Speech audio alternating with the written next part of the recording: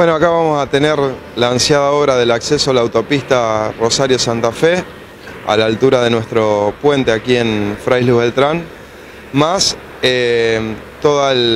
la calle Luciano Molina, que va a conectar eh, justamente la autopista Rosario-Santa Fe con eh, la avenida interurbana. Hay dos beneficios, obviamente el beneficio que trae el acceso a la autopista en cuanto a la circulación vehicular, a la descongestión eh, de otros accesos, con lo cual beneficia también a otras localidades, y específicamente para nuestra ciudad de Frailes Beltrán, como estamos ubicados, situados en un área industrial exclusiva donde ya están funcionando unas cuantas empresas, esas empresas van a poder trabajar mejor, desarrollarse, eh, sobre todo en lo que tiene que ver con su logística,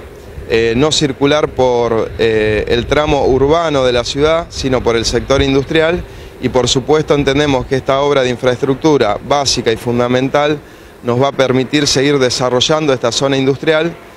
eh, que estaba tan necesitada de, esta obra que hoy se está ejecutando plenamente como se puede ver. Es una obra que para los vecinos de Frailes Beltrán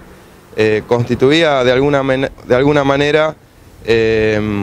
una equiparación con el resto de las localidades, pero fundamentalmente las posibilidades de desarrollarnos, de que se constituyan nuevas empresas en nuestro área industrial, obra sin la cual esto no es posible,